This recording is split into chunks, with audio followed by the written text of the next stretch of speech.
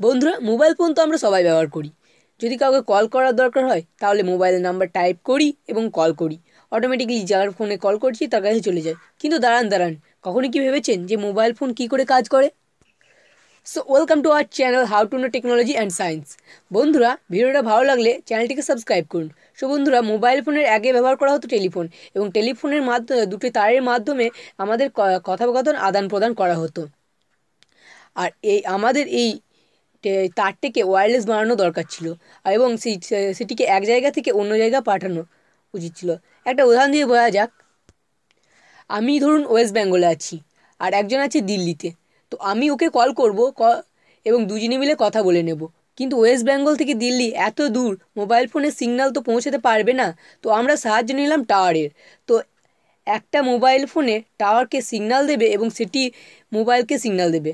ধরুন আমার কাছে একটা ফোন আছে। সেটির মধ্যে ছোট্ট একটা মাইক্রোফোন থাকে, সেটি আমরা যা যা বলি তা রেকর্ড হয়ে যায় এবং ডিজিটালে ফর্মে কনভার্ট হয়। মনে মানে জিরো আর ওয়ান আর হ্যাঁ জিরো আর ওয়ানের বিষয়ে আমি একটি, পরে একটি ভিডিও বানিয়ে দেবো যে জিরো আর ওয়ান ভিডিও আসলে কীভাবে কাজ করে। তো যেখানে ছিলাম আমরা, যেটি আর জিরো আর ওয়ানে কনভার্ট হয়, সেটি আমাদের ফোনে থাকা অ্যান্টেনার মাধ্যমে ছোট ছোট তরঙ্গে পরিণত হয়। কেননা এই রেডিও ওয়েভ বা ইলেকট্রিক ওয়েভ তৈরি না করা হয়, তৈরি না করা হলে টাওয়ারের কাছে পৌঁছাতে পারবে না। এবং আমাদের আওয়াজ ডিজিটাল হয়ে ইলেকট্রোওয়েভ হয়ে টাওয়ারের কাছে যায়।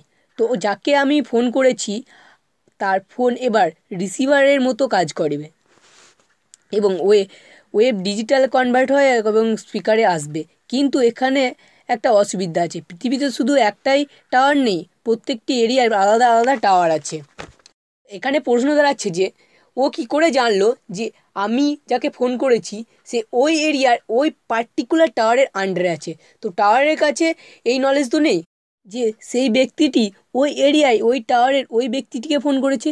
যদি পুরো ইন্ডিয়ার কথা বলি, তাহলে কত স্টেট আছে কত জেলা আছে, শহর আছে, গ্রাম আছে, এর মধ্যে কত টাওয়ার আছে, কত সিগনাল আছে, তাই তো?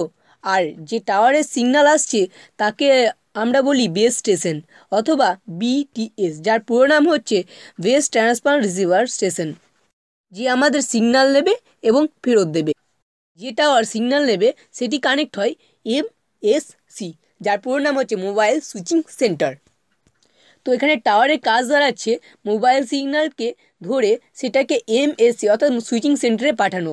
এবং সুইচিং সেন্টারের কাজ হচ্ছে, আপনি যাকে ফোন করেছেন তাকে খুঁজে বের করা এবং টাওয়ারের কাছে পৌঁছা এমএসসি গ্রামে শহরে যত টাওয়ার আছে তাদের সাথে কানেক্টেড হয়ে থাকে। তো এমএসসি টাওয়ারের সিগন্যাল নিজের কাছে নিয়ে আসে এবং ট্রান্সফার করে দেয়। এরকমই আলাদা আলাদা অপারেটরের আলাদা আলাদা সিটিতে আলাদা আলাদা এমএসসি থাকে। আর এমএসসির মধ্যে আপনার মোবাইলের সম্বন্ধে সমস্ত ইনফরমেশন থাকে। যেরকম আইএমইআই নাম্বার যার code star hash zero six hash আমরা জানি সকলেই। তারপর আপনি কোন টাওয়ার থেকে সিগনাল পাচ্ছেন, আপনার আইডি প্রুফ কী, কোথায় থাকেন, কত টাকা আপনার মোবাইলে ব্যালেন্স আছে সিমটি প্রিপেয়ার না পোস্টপ্যাড এরকমের সমস্ত ইনফরমেশান থাকে সুইচিং সেন্টারেতে বাকি এমএসসিগুলো পরস্পরের সাথে কানেক্টেড হয়ে থাকে। তো আপনার ডেটা তো সমস্ত বানানোই আছে এবং এদের কাজ হলো এগুলোকে সুইচ করতে হবে। তো এই সুইচ আপনিকে ফোন করেছেন, তার কাছে ফোন যাবে।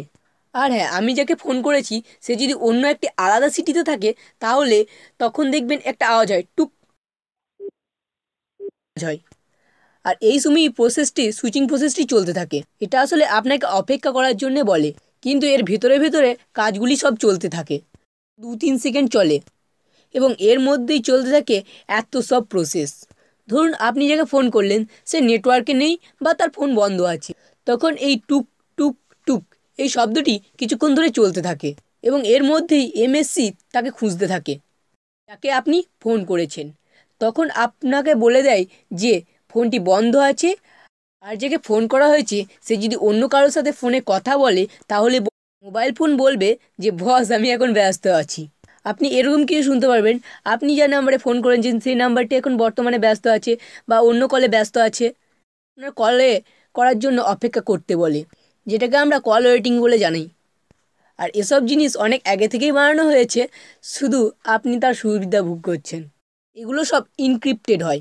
এরকম হয় না যে হাওয়াতে সিগন্যাল যাচ্ছে, আপনি সিগন্যালটাকে ধরলেন, টেনে দিলেন, এবং আপনি দেখে নিলেন সিগন্যালের মধ্যে কী আছে, বা সিগন্যালটাকে ধরে দেখে নিলে ডিক্রিপ্ট করে দিলেন, এরকম হয় না।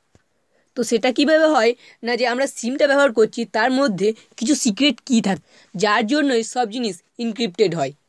একটা কথাই বলা হবে, এসব জিনিস তো আমরাই তৈরি করেছি, আমাদের নিজেদের বুদ্ধি দিয়ে।